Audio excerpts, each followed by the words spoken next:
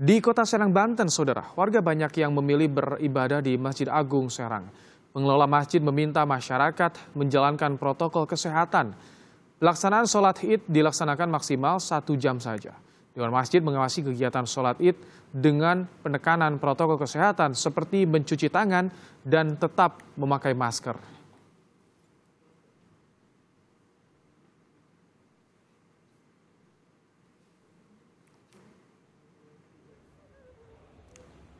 Sementara di Bandung, Masjid Raya Kota Bandung menggelar sholat Idul Fitri dengan menerapkan protokol kesehatan.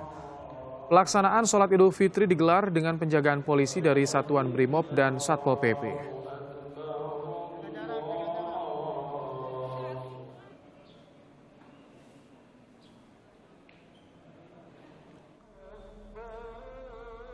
Di Jakarta, salah satu lokasi yang didatangi warga untuk mengikuti sholat idul fitri adalah lapangan Masjid Agung Al-Azhar, Jakarta Selatan. Pelaksanaan sholat id di Masjid Agung Al-Azhar diikuti oleh warga dalam jumlah terbatas. Pengelola masjid juga mengingatkan warga untuk mematuhi protokol kesehatan seperti menjaga jarak.